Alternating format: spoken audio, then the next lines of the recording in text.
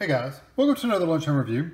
So I'm going to try these real good entree bowls. This is a uh, grain-free meal, 11 grams of net carbs, 19 grams of protein. This one is the creamy carbonara, um, hearts of palm pasta and spir spiralized vegetables in a creamy carb carbonara sauce with uncured bacon. Looks really good. Uh, we bought these at Meijer. It was $5, $4.99 for it. 9 ounces or 255 grams. It is certified gluten-free. It's only 300 calories for the whole bowl, which isn't bad. Let me get closer. There's your other info for you. Hard to believe the saturated fat is um, is that high, but eh, anyway. So there's the information, guilt-free, grain-free, gluten-free, blah, blah, blah. There's the, I was looking for them. They're right there. So it's microwave only. Um, I don't see any other directions on here. So ventilate or poke holes in the, in the film, microwave on high for three to four minutes, remove cover, stir, and co cook an additional two minutes. Let stand one to two minutes in the microwave, can handle carefully, blah, blah, blah. So it's uh, three to four minutes. I'll probably do three and a half and then stir and then two and a half. And it says remove cover, don't recover. So remove cover completely between times. This is why a pull tab is nice. Get your finger in there. You don't get a paper tap. Wow, I got the it's glued really good.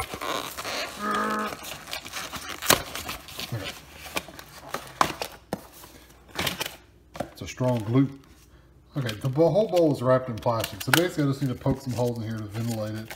Um, but you can see the veggies down there and the sauce. Tons of sauce in there and the bacon. So I'm gonna get this in the microwave, poke some holes in here first, put it in the microwave, and I'll be back when it's ready. Hey, so here it is out of the microwave, and it was um, it was really see how wet that is. That was everywhere in this bowl when I first stirred it. So the first time I stirred it up, it was really wet, and the second time it was really boiling. Uh, when I looked in there and then it went off and this is what it looks like now. So I'm gonna let it sit, maybe it'll thicken up a bit. It's supposed to sit for a minute or two anyway. Um, my only concern is it smells kind of bad. But um, we'll see. We'll see what it tastes like. Sometimes things smell bad and they taste wonderful, so we'll see. Just like fish. Okay, I gave it a minute to set. I wanted to, I looked at the box again. It's kind of funny. You saw what it looked like just now coming out of the microwave. Uh, this is the picture on the box. Now, does that look anything, does that look anything like the reality? No, it does not. Um, it's a soupy, um, thing over here in Rowdy, that looks like they individually placed literally the shredded vegetables in the bowl and put a blob of the sauce on there and sprinkle some bacon, which is exactly what they do. One by one, they place things. Definitely not the reality. But anyway, here we go. I always think it's funny when you see the, the package and how they've done it because it looks all fancy, you know hamburgers have big tomatoes and stuff on them, the lettuce and stuff. You don't realize that they pulled everything to the front. It's all stacked right there in the front. There's nothing in the back. Um, Flavor-wise, it's not bad. It tastes better than it smelled, like I said. The um, You do get that smoky bacon flavor, which is good. Um, well, you get the bacon flavor. I don't know how smoky it is, but you get the bacon flavor. You uh, you get the flavor of the sauce, and you do taste the vegetables too, so just keep that in mind. You do taste the, um, the uh, is it palm? Yeah, uh, hearts of palm, and then the, the vegetables, you do taste them. The texture of the vegetables a little crunchy, a little um, undercooked, but I mean, if they weren't, they were mushy, they would just fall apart in here.